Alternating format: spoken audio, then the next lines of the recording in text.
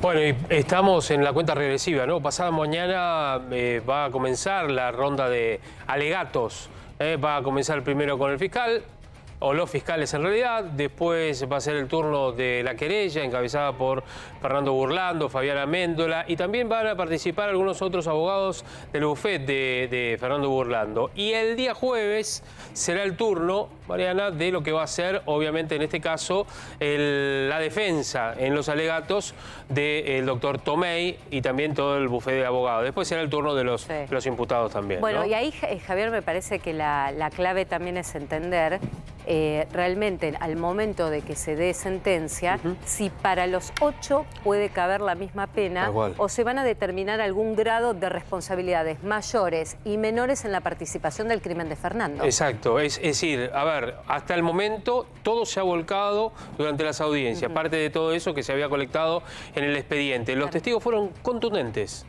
Para la Fiscalía no hay elemento, no hay juicio en el cual ellos, como experiencia, hayan tenido en el cual hubiera tanta prueba volcada, contundente contra los o el imputado. ¿Sí? La diferencia es esa, con respecto a otros juicios orales que se han desarrollado allí. Bueno, ¿Mm? absolutamente. Eh, está con nosotros el doctor José Luis España, que es abogado penalista, para también eh, estar en el entramado de lo que pueda pasar con, esta sentencia. Doctor, buenas tardes, gracias por venir.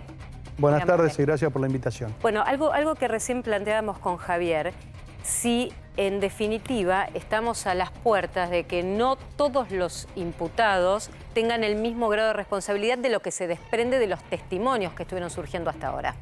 es muy interesante porque en realidad estamos hablando de un homicidio claramente, pero los tipos penales o los delitos que reprimen el homicidio van desde un homicidio culposo hasta un homicidio calificado, pasando por el homicidio preterintencional, por el homicidio simple, hasta todas las calificaciones que hay para, para este delito.